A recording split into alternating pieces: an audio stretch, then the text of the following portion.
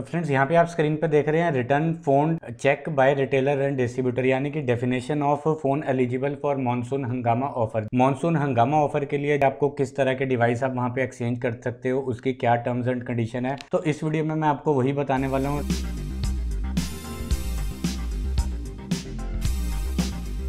सबसे पहले तो फ्रेंड्स अगर आपने अभी तक इस चैनल को सब्सक्राइब नहीं किया तो आप अभी इस चैनल को सब्सक्राइब कर लीजिए और साथ में लगे बेल आइकन को भी प्रेस कर दीजिए ताकि आपको ऐसी इन्फॉर्मेटिव वीडियोस मिल सके और आप ऐसी इन्फॉर्मेटिव वीडियोस को देख सके। तो जैसा कि आप यहाँ पे स्क्रीन पे देख रहे हैं, पहली कंडीशन ये है all working mobile phone which were sold from first January 2015 onwards are eligible for exchange यानी कि दोस्तों, एक जनवरी 2015 के बाद में जितने भी फ़ोन आपने परचेज किए होंगे, सिर्फ़ वही फ़ोन वैलिड हैं आपका एक्सचेंज ऑफ़र में और वो वर्किंग कंडीशन कंडीशन में होना चाहिए। दूसरा दोस्तों यहाँ पे two G, three G, four G non VoLTE devices will be accepted for exchange यानी कि यहाँ two G, three G, four G और जो नॉन वोल्टी फ़ोन है नॉन वोल्टी डिवाइसेस होंगे, सिर्फ़ आप वही एक्सचेंज कर सकते हैं। वोल्टी फ़ोन यहाँ पे एक्सचेंज नहीं होने वाला। Jio phone any C D M में और operator locked devices will not be accepted for exchange यानी कि जियो का फ़ोन कोई भी सी डी एम में फ़ोन हो, आपके पास एम टी एस हो टाटा का हो या रिलायंस का हो, इनमें से कोई सा भी सी डी एम में फ़ोन आप वहाँ पे एक्सचेंज नहीं कर सकते।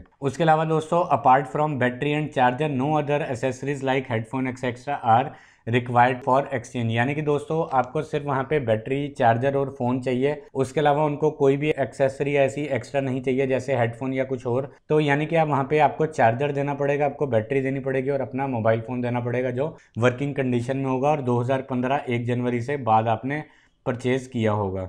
अब हम आगे चल लेते हैं और देख लेते हैं कि नेक्स्ट पेज में वहाँ पे क्या है। तो दोस्तों, ये तो हो गई जो कंडीशन है और यहाँ पे आप देख सकते हैं कुछ फोटोग्राफ दी गई हैं। यहाँ पे फ्रेंड्स आप देख सकते हैं check handset for damages missing part और बंड यहाँ पे एलिजिबल डिवाइस ये आपको जैसे दिख रहा है, जो एकदम फ़ोन ठीक है, यानी कि किसी का डिस्प्ले डैमेज होगा, वहाँ पे कोई स्पॉट होता है डैमेज होता है, किसी का ब्रोकन कवर है, या फिर आपने टेप वगैरह लगाई है, या फिर जला हुआ है तो इस तरह का फ़ोन वहाँ पे एक्सचेंज नहीं किया जाएगा। यहाँ नीचे देख सकते हैं handset must be in working condition without any damage और मिसिंग पार्ट और ब्रोकन एंड बर्न यानी कि आपको जला हुआ, टूटा हुआ डिस्प्ले जिसका डैमेज हो या कवर टूटा हो, इस तरह का कोई भी फ़ोन वहाँ पे वैलिड नहीं है। अब दोस्तों नेक्स्ट पेज पे देख लेते हैं check handset battery and charger for damages and missing part तो यहाँ पे वही सेम चीज़ दोबारा से दी गई है एलिजिबल आपका यहाँ पे दिखा रहा है कि एक मोबाइल फ़ोन इस तरह का आपका वैलिड है और अगर आपका कवर डैमेज है मिसिंग पार्ट है या कोई भी इस तरह की आपको वहाँ पे प्रॉब्लम बैटरी फूली हुई है तो भी आपका एक्सचेंज नहीं होगा। इस बात का आपको ध्यान रखना है। तो दोस्तों बस अभी तक इतनी ही हमारे पास इन्फॉर्मेशन आई है रिटेलर्स के पास। पूरी इन्फॉर्मेशन अभी भी नहीं आ पाई है इस फ़ोन के बारे में स्कीम के बारे में। तो अभी तक के लिए दोस्तों इतना ही। आप ज़्यादा से ज़्यादा लोगों के साथ इन्फॉर्मेशन को शेयर कीजिए ताकि ज़्यादा से ज़्यादा लोगों को इन सारी कंडीशन के बारे में पता चल सके। तो दोस्तों, आज के लिए बस इतना ही। उम्मीद है आपको आज की वीडियो अच्छी लगी होगी। आज की वीडियो अच्छी लगी तो प्लीज़ आप इस वीडियो को लाइक कीजिए और ज़्यादा से ज़्यादा लोगों के साथ शेयर कीजिए। Thank you